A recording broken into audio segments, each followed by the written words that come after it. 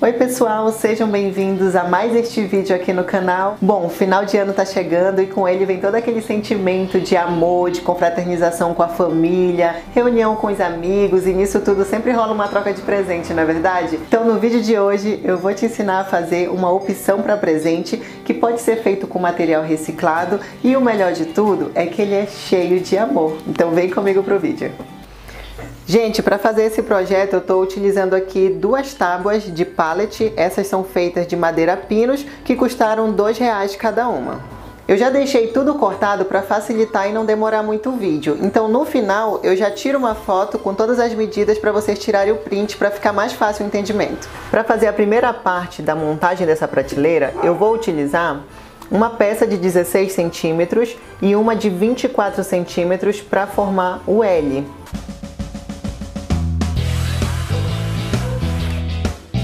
Agora, para formar a próxima letra, eu vou utilizar dois pedacinhos de 13 centímetros e para fazer a base, eu vou colocar um de 15 centímetros.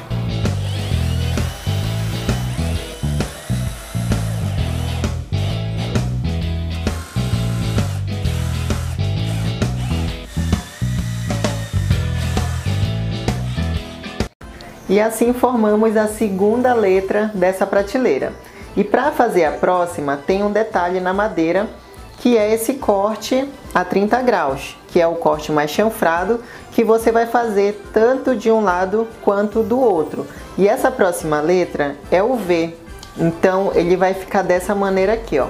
E para formar a base, eu vou utilizar um pedacinho de madeira de 19 centímetros que vai ficar nessa posição aqui. Então eu vou parafusar de baixo para cima e aqui também eu vou parafusar dentro do O.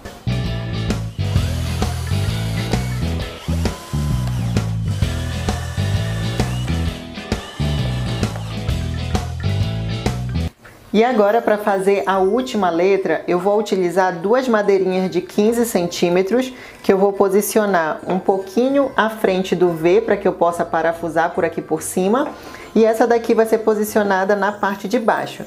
E também para terminar de formar o E, eu vou utilizar essa madeirinha de 6 centímetros.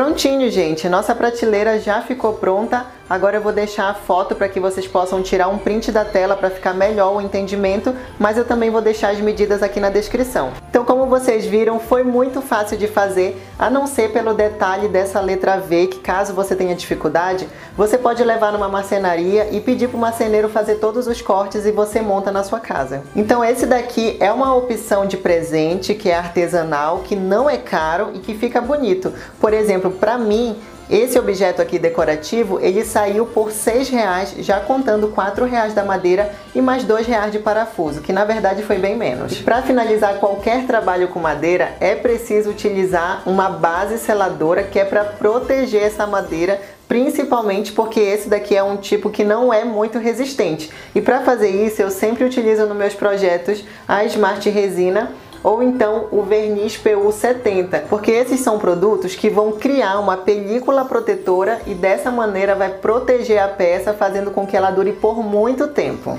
E caso você queira deixar o objeto com a cor natural da madeira, você pode finalizar com o próprio verniz. Ou então, se você quiser dar uma cor diferente para combinar com a decoração, você pode utilizar uma tinta esmalte sintético à base d'água ou então o próprio spray multiuso. Quem costuma fazer esse tipo de trabalho em casa, que mexe com artesanato e com reciclagem, normalmente tem um pouquinho de tinta sobrando, então nem com isso você precisaria gastar. Então essa daqui é uma boa opção de presente, primeiro porque é de baixo custo, você pode fazer com materiais reciclados e segundo que pode ter muito significado para a pessoa que vai ser presenteada, que pode ser você mesmo. Então se você gostou dessa dica, deixa um like, aproveita, verifica se você está inscrito e já ativa o sininho para não perder o próximo vídeo, porque aqui no canal tem conteúdo todo dia. Beijo!